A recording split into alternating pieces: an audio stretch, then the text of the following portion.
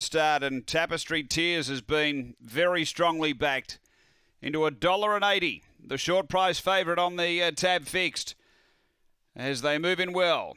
Our first go at the 680 start. The light on.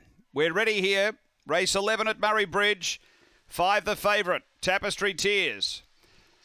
Racing, Tapestry Tears stepped cleanly. Speed underneath from My Tie Focus. It's getting pretty tight going to the first bend and zipping through on the fence. Joe's Gold. It was up and a hunt through and get away by two to the back. Favourites back last, Tapestry Tears, seven off the lead. The leader, Joe's Gold by three. My Tie Focus, then Mr. Kiri. Getting busy now, Tapestry Tears, then New Year Tears, and back at the tail, Allegra. Off the back, Joe's Gold away by three. Doing the chasing, Mr. Kiri, My Tie Focus. Tapestry Tears trying to wind up. They race to the turn. Joe's Gold, the leader, ran deep. Getting through underneath it is My Tai Focus. Then Tapestry Tears coming through. It's still lifting Joe's Gold. Uh, My Tai Focus. Gee, Tapestry Tears dived. I'm not sure. My Tai Focus or Tapestry Tears. There's nothing in this. Close up was Mr. Kiri. And then Joe's Gold right there and a ripping finish. Uh, then we had New Year's Tears and back at the tail is Allegra. The time here is around the 39.80 mark. It was heads up and down. They drive and go.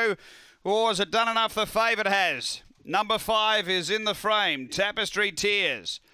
Uh, gee, she just did enough. That's the barest possible, right down to the line. It's five from two. And uh, third, we stand by. It's 39.84.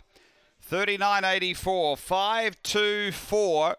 And fourth home uh, we'll have for you shortly. Five the winner, Tapestry Tears for Lauren Harris has got the prize over two Mai Tai Focus for Mick Giniotis and third to four Mr. Kiri uh, for Gino Gregorovic. It's 5 2 4 1 after race number 11 here at Murray Bridge.